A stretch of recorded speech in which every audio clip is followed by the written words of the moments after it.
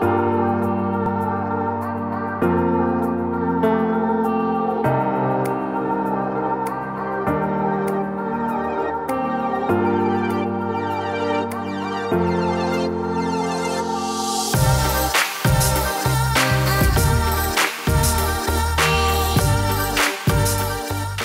For joining us today. Can you tell us a bit about Divido? Sure. Divido is a technology company that lets consumers buy anything in monthly installments whilst the seller gets paid in full right away.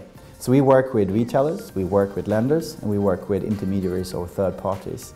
Uh, we do three things very differently. First of all, we're omni-channel, so it works regardless where the customer wants to transact. We're multi-country, which means you do one integration and then that works for all your customers, wherever they happen to live. And thirdly, we're multi-lender, which means that we have higher approvals and lower cost than the incumbents. And where did the idea come from? It was really the realization that consumer preferences are moving on for example, think about Netflix. We used to sit down and watch TV shows when the TV networks wanted to broadcast them. Now we want to get things when we want to, and we get that through services like Netflix. Same thing with Amazon. Why go to a store you can get it straight away? We see the same thing when it comes to provisional or access to credit. Why go to a bank and speak to a bank manager to apply for a loan or apply for another credit card if you can be given a line of credit exactly in the moment in time where you need it uh, in, a, in a shop, for example. And that's what we do. And what sort of traction have you gained so far?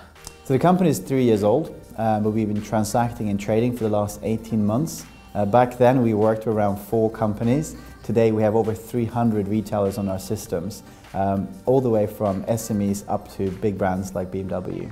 We are a team of 20 people at the moment, uh, and we're looking to raise a Series A by the end of this year.